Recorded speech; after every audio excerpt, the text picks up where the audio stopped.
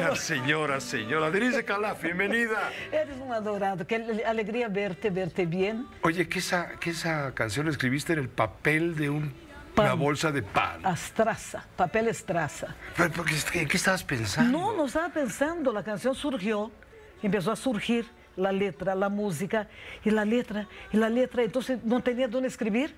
Llegué a la cocina. No, encontré una bolsa de pan, un papel estraza, encontré en la cocina, vamos a escribir y escribí la letra. Denise Calaf nos acompaña esta noche para invitarnos a un concierto. Quiéreme más. Quiéreme más. Quiéreme más, Denise. Quiéreme más, Pepe. Por favor, dime, ¿qué diablos vienes a hacer después de ocho años de estar aislada. ¿En dónde? Ermitaña. ¿En dónde? Eh, me decías hace un momento. Isla de Holbox. Viviendo en, una isla como del National Geographic Magazine. Es, sí. mexicana esa isla. Una, una de las diez islas más importantes del mundo la tiene México.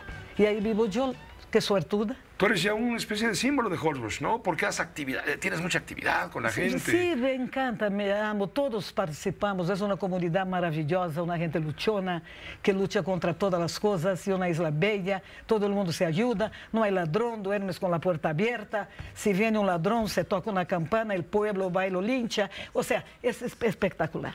Bueno, ahora vienes a México. Vengo a México. Vienes al Lunario. Al Lunario. invítanos a tu concierto. Sí. Primero te invito, Pepe, y invito a todo el público maravilloso, ese público que extraño, porque volver a ver a ustedes ocho años después es como volver a ver un gran amor de la vida de uno. Haz de cuenta que hace ocho años no veo ese gran amor. Y entonces voy a encontrarlo el 31 de octubre a las 9 de la noche en el Auditorio Nacional, en el Lunario del Auditorio Nacional. Un concierto que será lleno de emoción, lleno de viajes al pasado, al futuro, a lo que estoy haciendo ahorita, a muchas historias. Ah. Obviamente, obviamente todos te conocemos de hace muchísimos años. Yo he sido un admirador tuyo a lo largo de, la vida, desde que te identificamos. Estamos hablando de los años 80. 80 Fuiste Un, fenómeno, un golpe tremendo. Bueno, esta canción de señora que ya, ya te hartó, es como la canción del rey al rey de España. Tú sabes que un día fui a hacer una colonoscopía y al entrar tocaron esa canción. Y yo digo, no, bueno, o sea, por favor. Pero, pero ese es el himno de las mamás. Vamos, no hay días de mayo sin señora, señor. Y además, no me diga. Alguien me decía, ¿tenés no te hartas? Yo digo, no. ¿Quién tiene la suerte de tener una canción como esta que va a quedar después que yo me vaya? ¿Y quién tiene la suerte de ser eh, la inspiración de los memes en mayo? Los memes maravillosos que yo amo tanto, uno que me descongela, otro que me hace parecer al Fernando de Maná, el otro que me pone como coco, o sea, esos memes han sido mis mayores promotores. ¿Fue un arranque de nostalgia y de amor por tu madre? Fue, ¿El haber compuesto esta canción? Fue una confesión de, de, lo que representa mi madre. Mi madre es una guerrera, todo lo que está ahí me quedé corta. Mi madre es una batalladora, luchadora, una mujer que una vez me dijo, yo no te hice para que saliera corriendo al, al primer espanto. Entonces, es... Es tu, ángel de la guardia. Es mi ángel de la guardia. Eh, además es una madre, ¿no? La mamá, o sea, la mamá tiene ese valor. Ese por qué la dejaste? ¿Por qué te viniste de Brasil a México y te volviste brasi... brasicana? Brasicana. Eh, y mejileira.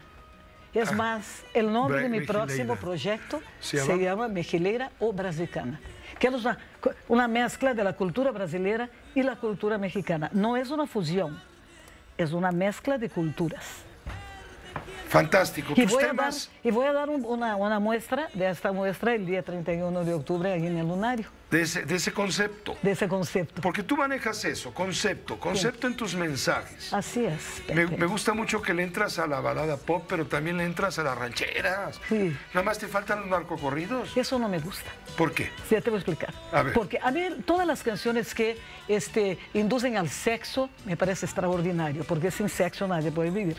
Y además los niños de 13 años de edad a 14 están despertando su sexualidad de 12 ahora. Entonces necesita tener un mercado, unos cantantes que enseñen las chiches, que enseñen los muchachos ese cuerpo divino.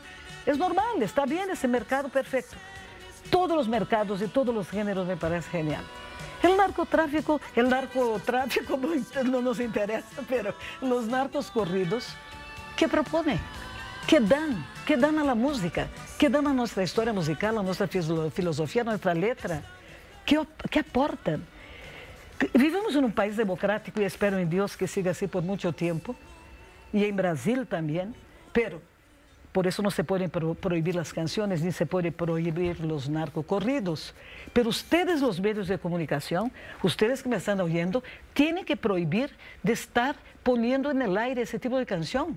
Lo escucha un niño de dos años, de tres años, de seis años, de siete años. O sea, es su responsabilidad. En un país democrático solo puede haber censura a través de la conciencia. Entonces, sí, los medios son los que tienen que frenar la la promoción de ese tipo de canciones. Tú, cero, entonces no te metes con ese tema, pero sí con todos los temas de profundidad, de amor, de sexo, de sensualidad. Eh, eh, comprendo todo eso. Y puede ser en ranchero, puede ser en lo que quieras. Y en samba ranchero también. Sí, también. sí, puede ser. La música es un vehículo, es una barca donde tú transitas tu voz y transitas tu mensaje. O sea, la música es eh, maravillosa en cualquier género. Por ejemplo, En México, ustedes están teniendo una música joven extraordinaria, como cantantes como Natalia Lafourcade, que es extraordinaria, extraordinaria. Extraordinaria. Entonces, la nueva generación musical, con, esa, con ese tipo de compositores, es extraordinario. O Elena Rose, eh, o entonces eh, esta niña García. O sea, eh, todo, todo ese nuevo movimiento joven es fabuloso. Pero ¿dónde quedan esos grandes padrinos que fueron tuyos como el queridísimo, admirado Marco Juan Antonio Muñoz, Juan Gabriel, Marco Antonio Muñiz? ¿Sabes que fueron los primeros que fueron a verme? Roberto Carlos, tu paisano. Eh, bueno, todos ellos están haciendo cosas, están ahí, son nuestros... Realmente siento mucha falta te, de, te apoyaron Alberto. mucho a ti cuando, sí, cuando empezaste, ¿no? Sí, sí, sí. Ellos todos iban al Estelares en aquel entonces que había un, un barrio, un lugar americana. en la fiesta americana, el Estelares. Sí, sí, yo, hasta yo iba. Pues sí, entonces este, éramos muy jovencitos, entonces era una, una, maravilla. Marco Antonio Muniz estaba, estaba Lucha Villa, iba Juan Gabriel a visitarme, Lupita D'Alessio, grandes, los grandes de México. Pues tú eres una grande. Bueno, ellos, ellos fueron mis padrinos. O sea, es imposible. Yo creo que, mira, eh, a mí me gusta que tú lo digas. Yo solamente creo en los grandes cuando lo dice otra persona. Cuando lo dice uno mismo, deja de ser grande. Se convierte en vituperio. Exactamente. Denise de Calaf, te agradecemos mucho que hayas venido a invitarnos a tu concierto Quiéreme Más. Repíteme, Lunario. Lunario. El día 31 de octubre, 9 de la noche. Exactamente. Lunario, 31 de octubre, 9 de la noche. Tenemos una cita tú y yo para vivir una noche llena de emoción, llena de pasión, llena de nostalgia y llena de alegría. Denise de Calaf rompe ocho años de silencio. Que has estado muy activa porque sigues escribiendo canciones. Sí, sí claro que sí. Y, y, claro, bueno, las interpretas y demás, pero ocho, insisto, ocho años había una laguna, eh, eh, te habíamos perdido la pista. Era importante, Pepe, pero no, ya me lo dijiste, ya, sí. era, era importante, pero ahora yo realmente ya no me voy a ausentar tanto. Hay muchas cosas que quiero decir muchas cosas que quiero cantar, muchas cosas que quiero mostrar a la gente para eh, compartir con ellos mis inquietudes de este mundo tan extraordinariamente raro que estamos viviendo. ¿Sigues inspirada? Muy inspirada y ahora más inspirada por ver tanto amor de parte de ustedes, los medios, conmigo en este regreso a la Ciudad de México, en ese bueno, regreso a los dejaste escenarios. Huella, dejaste huella, pues, Ay, ¿cómo pero no? gracias, mi Pepe adorado, gracias a ustedes, gracias a los medios, gracias a esta empresa, a Fórmula, a Radio Fórmula, todos ustedes tan, cari tan queridos. Muchas gracias a todos los medios de comunicación que eh, me han seguido en esta temporada.